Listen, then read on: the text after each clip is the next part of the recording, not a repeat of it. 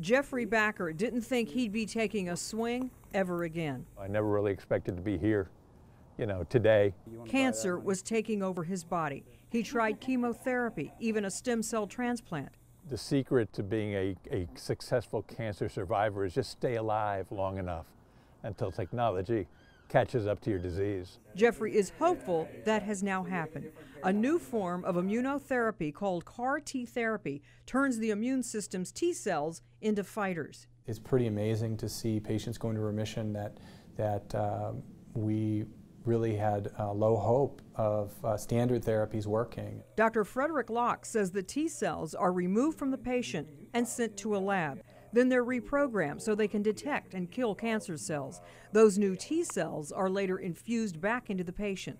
They activate for a fight and they, they kill the, the target cells, the cancer cells in this case. Backer said the CAR T therapy was tough. But, you know, in the back of my mind, I, I knew the outcome was going to be good. Signs of the disease started disappearing within a week.